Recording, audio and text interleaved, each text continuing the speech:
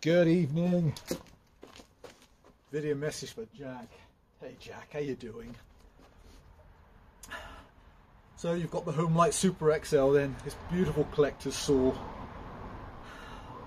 Hopefully a really nice addition for your collection.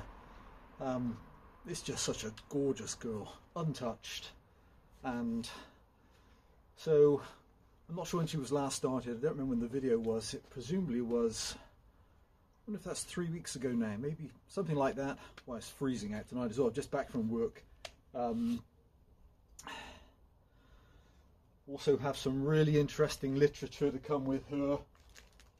Not least one is um, one of the original Sells brochures, the copy of the spec from 1964. It's just really nice to have that and a few other really interesting bits of information as well. Um, okay, I'm sure this girl runs from three or four weeks. Choke, throttle lock, kill switch. Be really interesting how she runs. Well, it's yeah, stood a long time. Fine. Wow, two pulls. Okay.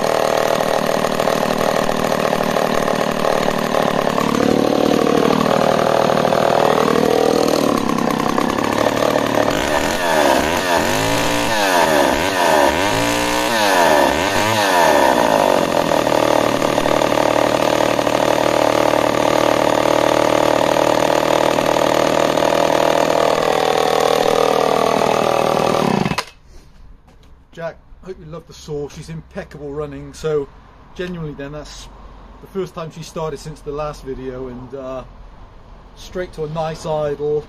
Just a gorgeous, gorgeous saw.